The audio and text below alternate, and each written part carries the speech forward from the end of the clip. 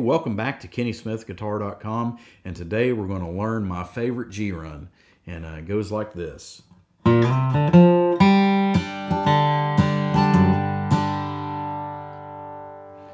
So what we're going to do is we're going to start out on our fifth string and uh, first fret. I'm going to slide that up to the third fret. So when we get there, I'm going to drop my pick down to my fourth string. I'm going to hit it open. We're going to take our index finger and I'm going to note right there, stay in the third fret, note your fourth string on third fret. And when we do that, I'm going to end with the open third string. So, so far we got.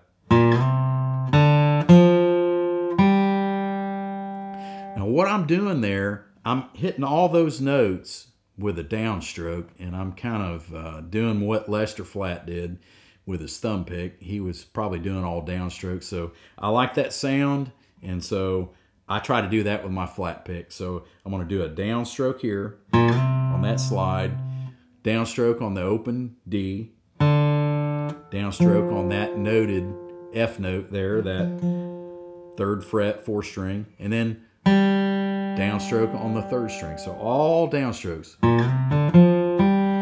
What you can do is uh, kind of think about Chuck Berry uh, with all those downstrokes. He did all downstrokes there, so keep it bouncing. Keep your pick bouncing. Just think Chuck Berry right there. Chuck Berry and Lester Flatt. That's all you got to remember on that one. So now what I do after I hit that open G string is I come back into my rhythm uh, after I hit that open G. Now I'm going to do a strum right there. And I'm going to go up to my fourth string. I'm going to hit it open and do the strum. And I'm going to end with the low G and I'm back into my rhythm. So after that,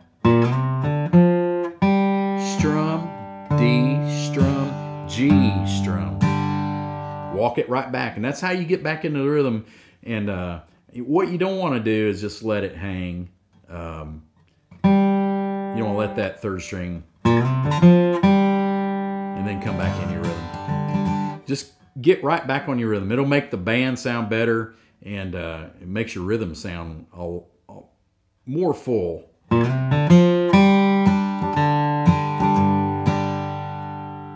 So don't let that uh, third string there uh, float out into space. Uh, I like to come back in on the rhythm and uh, it makes the band sound better and and makes your rhythm sound more full. So.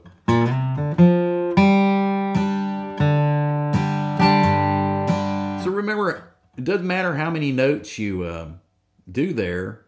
Um, you know, you can still end up that way.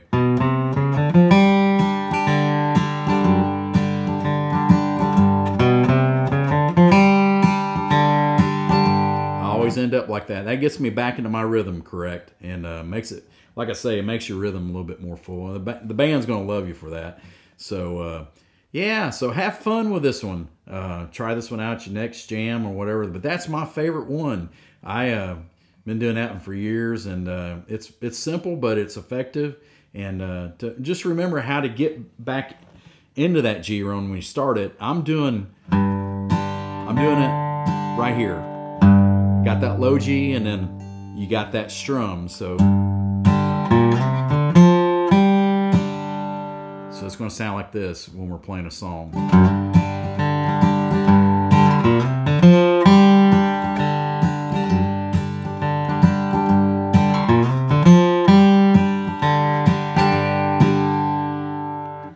Keep checking back to KennySmithGuitar.com. I've been uh, uploading a lot of lessons and uh, one of the things i've been doing here recently is i've been trying to document all these uh, vintage guitars that's got these unique stories and i've been interviewing the owners and how they uh, you know how the guitars affected their life.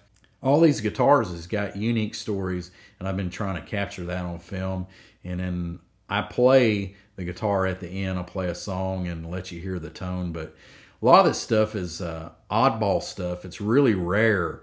uh, some of the guitars I've been uh, filming. I've been trying to get the more obscure stuff on, on film, and uh, all these guitars got these stories, and I just love it. And I think you'll like it too.